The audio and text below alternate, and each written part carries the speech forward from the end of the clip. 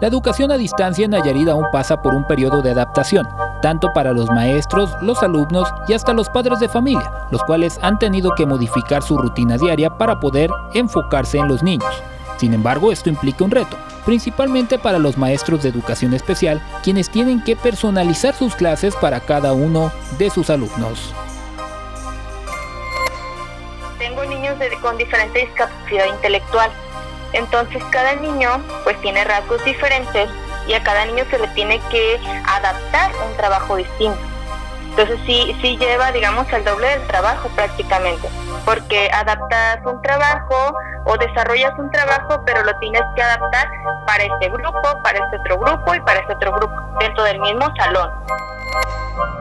Los hogares nayaritas se han tenido que adaptar también a esta nueva modalidad. Sin embargo, esto implica un gasto extra para tener el servicio de Internet y la adquisición de dispositivos móviles, los que, para muchos, resulta un gran esfuerzo.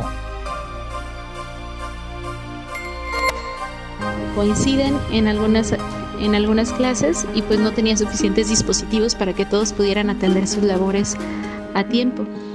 Entonces sí ha sido bastante complicado creo que se ha gastado un poco más de lo que generalmente invertimos. Tan solo con la compra del, dispositivo fueron cerca de dos mil pesos extra, además de lo que se gasta usualmente en útiles escolares, ¿no? que, que de por sí es un gasto fuerte, más siendo tres, tres pequeños.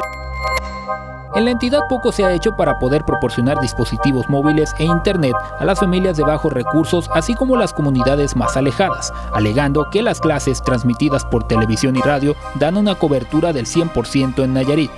Cabe señalar que por lo menos en la entidad aún no se tiene contemplado el regreso a clases en modo presencial hasta que pase del color amarillo-verde en el semáforo epidemiológico del gobierno federal.